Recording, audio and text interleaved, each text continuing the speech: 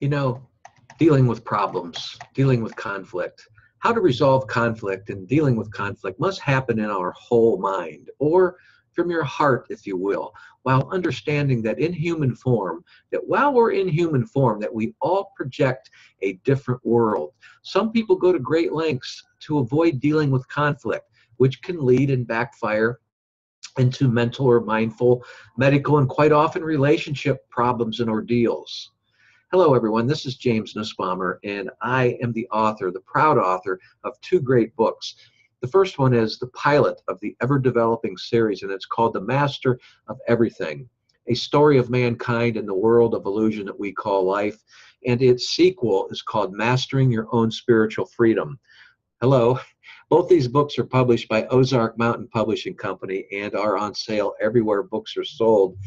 I call them the whole series uh, a spiritual and inspirational manifesto to a better life. And I'm proud to say that we just signed a contract on a third book called And Then I Knew My True Abundance, which is on its way out and soon to be released. But let me get back to this. You know, if we as humans, if as humans we can realize that that the core, that the core of conflict, the core of con- conflict is merely just an illusion if we can real if we can see conflict as an illusion and i'll explain in a minute what i mean then we have an opportunity for tapping our whole mind. Now i'm not i don't mean tapping our entire mind. I mean whole like wholeness.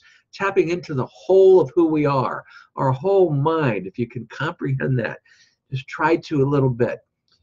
And begin if we can do this we can be we can begin creating a world for positive change a Course in Miracles says, which many of you know that I'm so fond of, and in the story behind how I ran into A Course in Miracles, but A Course in Miracles asks us to, to answer this question.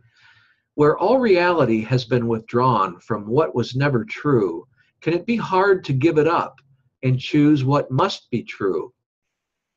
What must be true makes no decisions because it has nothing to choose from, nothing to decide from. But if truth could decide on any one thing, it would be to continue being all that it really is, which is oneness or wholeness.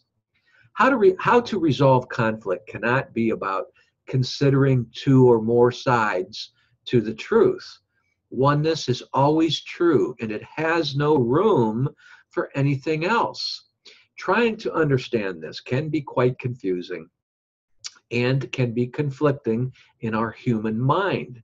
The ego based mind, which is that doubting and fearful aspect in us that's always in conflict, relies on conflict to make concrete decisions.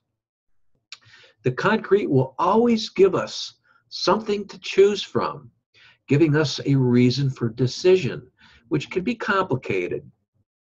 Spiritual freedom is not complicated at all when you know it is one. When you know what oneness is, in oneness there is no conflict. How can what is whole? How can what is whole or one have any separate side to conflict with? It's impossible. It cannot be complicated because the complexity is gone. To know is merely to accept the truth as all there is in any given situation or matter that you're faced with. Have you ever tried to explain what the truth means? You can't explain it. It's hard to do, isn't it? This is the same as oneness, where nothing conflicts. This is why the ego cannot understand this. There is nothing to decide. One is one, truth is truth, Wholeness is wholeness. There's no separation in wholeness. Truth is all that there is. There's all there is to it. The real world is a choice you make to accept what is real. There's nothing in between. No what ifs, no maybes. The real world is not an outcome. An outcome can only be perceived or projected. Oneness and truth are not separate and have no outcome. It is what it is, always one and whole. If all you can ever have knowledge of is total oneness and truth, you will undo every illusion you have ever had. Oneness and truth cannot be sacrificed. Only illusions, only illusions can be sacrificed. There truly is no sacrifice when you let go or surrender the illusion, the illusion of conflict, because it was never real in the first place.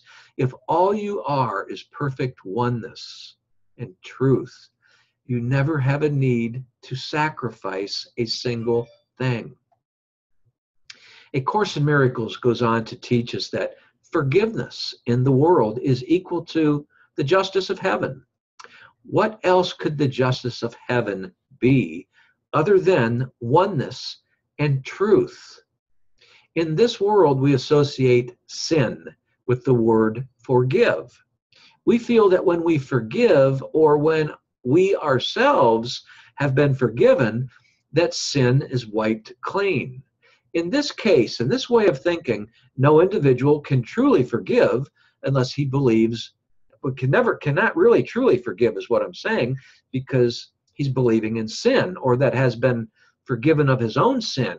What I mean is, okay, in previous articles in my books that I've just shown you, I said that true forgiveness is to look beyond the errors in our mind caused by illusion, made by the ego, so, what that means is to look beyond the ego in all of us to the wholeness where we're all interconnected as one. That is forgiveness, to look beyond the worldly illusions. When you can do that, when you're faced with an argument or something like that with another person, that is true forgiveness. You're looking beyond the unreal to the real and accepting the real. In oneness and truth, there is no such thing as sin. Therefore, you cannot sin. Additionally, we must forgive ourselves for believing in the forgiveness of sin we never had in the first place or ever will have. What is real holds no sin. Anything that is a part of our dream of separation is not real. Okay, if you're a little confused, let me confuse you a little more, but this is a little fun to think about here, what I'm about to say. Okay, remember that the Bible states that Adam fell into a deep sleep but nowhere in the Bible is there any reference of his awakening because the dream continues to this day. The Bible cannot reference his awakening because we as mankind and who wrote the bible is a part of the dream we're still dreaming. It's we've never awakened so no one can tell of adam's awakening. The dream has continued. So yes adam was dreaming when he and Eve got caught up in the lies of the serpent.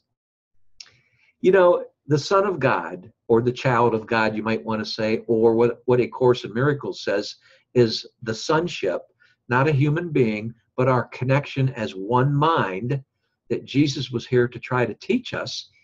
Of uh, the sonship, the Son of God, is is a interconnection of one mind, the wholeness that we all are. A Course in Miracles states has not yet ex- we have not yet experienced full awakening. This makes a lot of sense to me. Sin is in the dream and not of the dreamer. We, as whole, who we are behind illusion, cannot sin. Only the dreaming part of our mind can sin.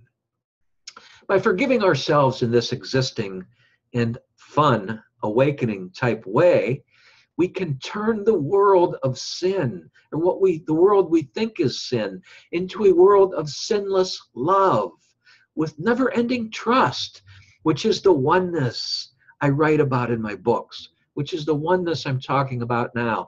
No sadness no parting no dealing with conflict because everything is totally forgiven even forgiveness itself. Nothing can be kept separate not even conflict in fact, we don't have to figure out how to resolve conflict because conflict, in the first place, just simply dissolves as we awaken to this oneness. I hope this makes sense. And I had fun talking about this.